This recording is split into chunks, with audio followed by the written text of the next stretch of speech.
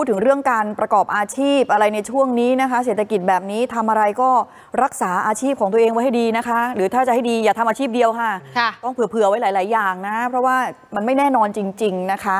อย่างพี่น้องกลุ่มนี้ค่ะ อยู่ๆก็ตกงานไม่รู้เนื้อรู้ตัวเลยนะคะ เป็นพนักงานที่ร้านอ่าเป็นแบบผับอะค่ะแห่งหนึ่งค่ะที่อุดรธานีนะคะ ก็เลยต้องมีการรวมตัวกันไปร้องเรียนผู้ว่าราชการจังหวัดนะคะ ผ่านทางศูนย์ดำรงธรรมค่ะ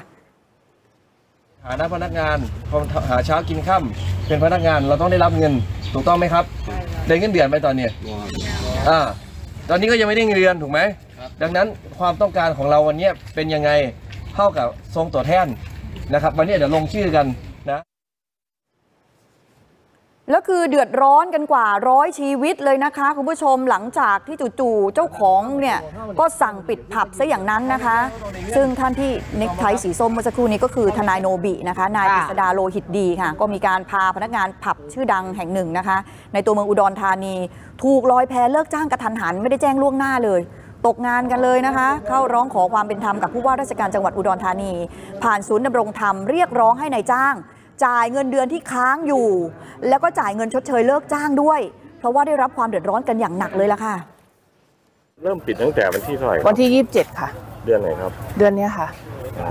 แล้วเขาได้มีการบอกล่วงหน้าประชุมกันยังไงไม่มีค่ะ ไม่มีบอกประชุมไม่มีอะไรเลยค่ะ เอาแล้วเห็นว่ามีประชุมตอนเย็นอะประชุมว่าไง ประชุมป้าประชุมตอนเย็นเขาก็บอกว่าเขาสั่งให้ให้ปิดร้านอืมเขาว่าพนักงานคนไหนที่มีงานทำก็ให้ไปหางานก่อน ไม่มีกำหนดที่เปิดร้านค่ะ เราทำงานที่ร้านนี้นานหรือยังครับสองปีกว่าค่ะ แล้วผลกระทบของเรายังไงบ้างครัผบลกระทบยังไง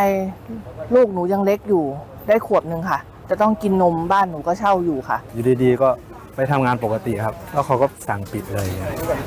แล้วเขาบอกไหมปิดกี่วันหรือยังไง ไม่มีกำหนดนะครับ น่าจะไม่ไม่มียังไม่มีครับ